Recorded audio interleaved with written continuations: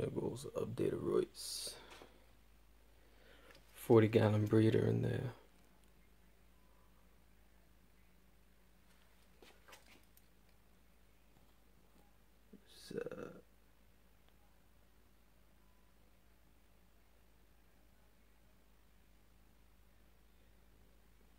Got some other moss over here.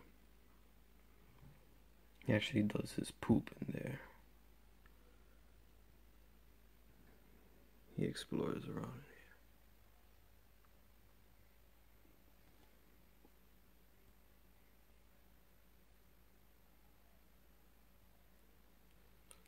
Hmm, getting pretty big though.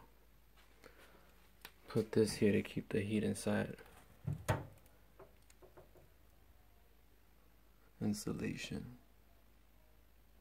Heavy chain just to hold it down. 100 watt nighttime heat bulb in there. That one's the one that stays on 24 7 though. There he is. 98 in there. Overall tank is what 86 on this side.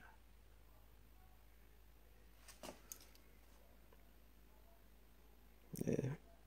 Cooler over here. And he'll go in whenever he's ready. There he goes. Almost what, six feet stretched. Two years old. A little under two, actually. Two months shy of two years. So you can see he's getting big quick. Eating very healthy.